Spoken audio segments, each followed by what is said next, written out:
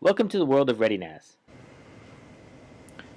Let's take a look at the new 2-bay ReadyNAS 102.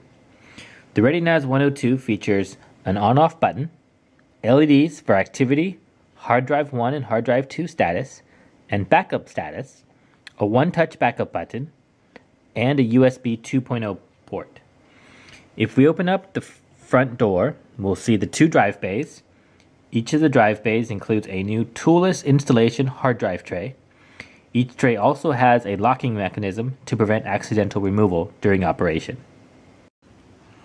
And now let's take a look at the back panel of the ReadyNAS 102.